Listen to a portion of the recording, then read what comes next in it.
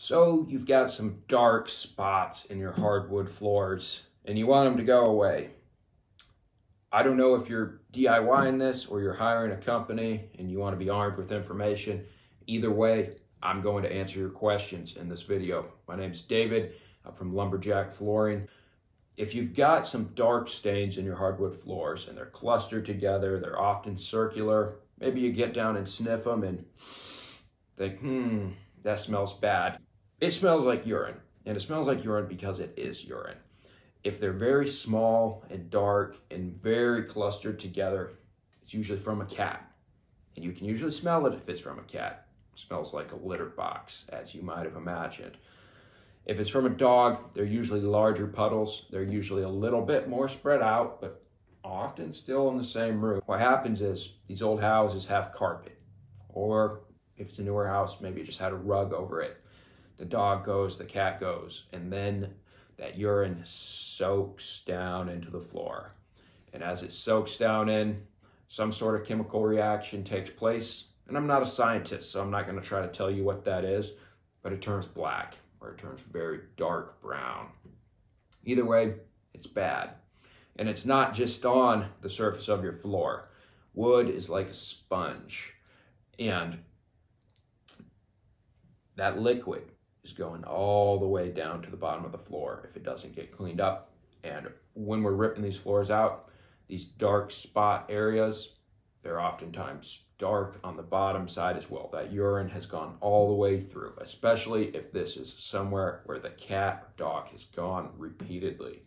So the first thing I'm going to tell you on how to get rid of these spots is one, please don't go and try to bleach these things or mix up some weird concoction, it's not going to work.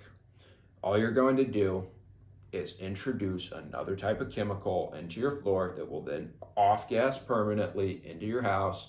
And then when you do get it refinished, either yourself or the company you choose to hire, and they try to finish over it, well, those chemicals you put in the floor have sponged down in there and they're still there. And depending on what type of finish you used, you may have a reaction. That area may now turn white in the finish coats or purple or black, or it may just peel. Either way, using some type of strange solution is not a good idea. So let's talk through the options that you do have. Either way, I hate to be the bearer of bad news, you're gonna have to refinish at least this room. So option one, is when it's refinished, you stain it dark. Now, depending on what type of uh, stains that you use, there's a lot of different lines.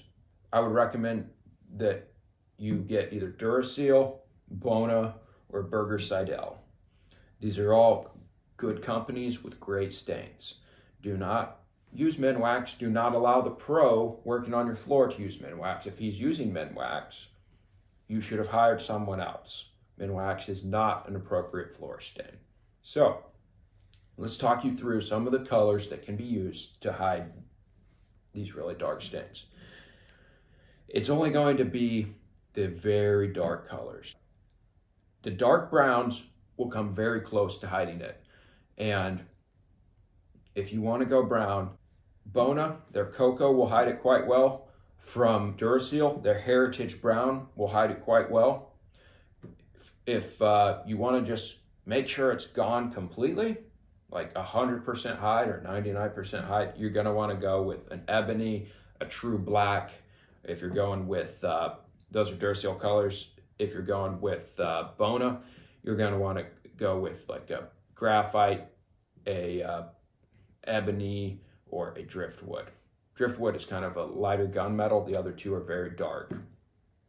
These real dark colors, there's definitely some cons to having a real dark floor, and I'm not going to get into that here, but those will cover 99%. Those browns I talked about will cover probably 80%. If you want to go more of a medium brown, uh, that's, that is a color, but when I say that, I'm talking about the spectrum. Just understand it may look better but it's it's not going to be hidden. It's still very much going to be there, and I would discourage that route. So, stain it dark is option one. Let's talk option two. Option two is you have some seamless patchwork done. So in this seamless patchwork, either yourself or whoever you hire it is going to cut all these board ends at different lengths, um, keeping those ends, you know, at, at least three inches apart, at least three inches apart. And cutting each one and then extracting it carefully so that they don't break any of the tongue and grooves around them. Then they're going to apply glue. They're going to get the right kind of flooring to match and they're going to put it back in. They're going to that glue is going to hold it and then generally there's going to be some small nails through the top. Those can be filled with wood filler. And this, if you didn't know it was there, is generally very hard to spot if a nice job was done on it. If you're going with this patching method, one, is expensive. It's very time intensive to to get out there and cut every board with the oscillating saw, rip it down the middle with the circular saw, and then carefully pry bar and chisel the rest of it out, pull the nails without breaking the pieces around it. It's going to take a long time. Hardwood floors are already expensive to get installed. Now you're having uh, five times the labor, at least per square foot going in, maybe 10 times the labor. So understand this can get pricey very quickly. If you're DIYing it, it's not too bad. Just understand it's going to take you a long time and uh, you don't want to screw this up. The next thing you need to be aware of is the match. When you're getting match, you're going to think, oh, if I just get the right character match and the right species match, I'm good.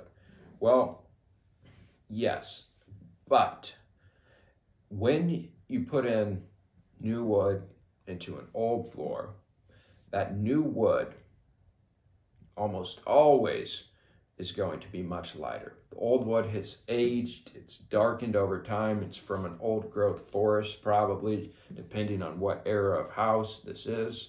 And it's going to, to look a little bit different. If you're staining the floor, this will usually hide completely. If you want to go with a natural floor, expect some slight change in color, usually a little lighter in that area that you put in.